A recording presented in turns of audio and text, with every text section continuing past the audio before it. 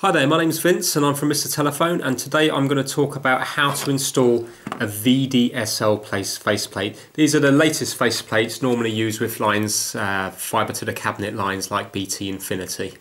Okay, so it's nice and straightforward.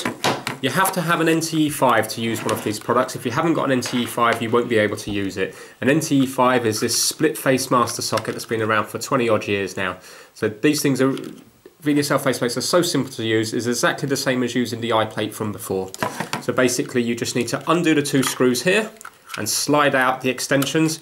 Be careful when you're sliding them out, don't yank them too hard as they may not be cable tied. So just nice and gently slide that out. You get your VDSL faceplate, it's got a cutaway there for the cable so you don't need to undo any of your wiring. You just plug it in like so and then you need to plug your faceplate back in.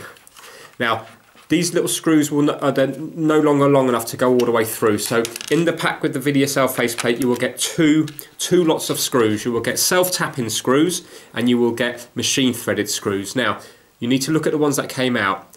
If it's a self-tapping one like this, you need to put a self-tapping one in. So if you get the screws out, you will see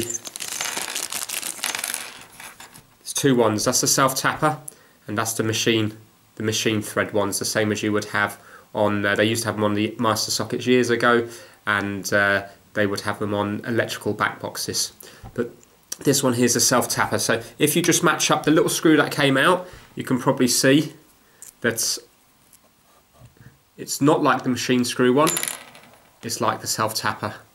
So in this instance, you just use the self tapper. So basically, you just uh, plug in yourself, uh, screw in your self tappers using uh, a Phillips screwdriver all the way in, use both of them. And uh, that's how you fit an ADS, uh, VDSL faceplate. Now with the VDSL faceplate, it means that everything is now filtered from here. So you don't need to have your ADSL filters plugged into all your extension sockets.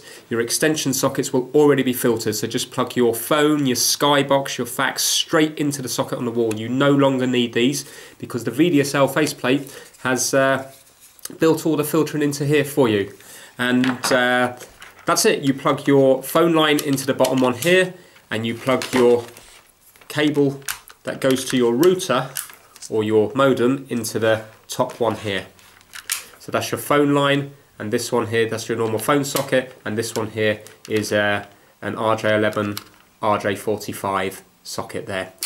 And uh, with this VDSL faceplate, you have to use your router by the master socket. Your router will no longer work in your extension sockets because the filtering has been done here. So your extension sockets are now the filtered signal, while this one here is the unfiltered signal.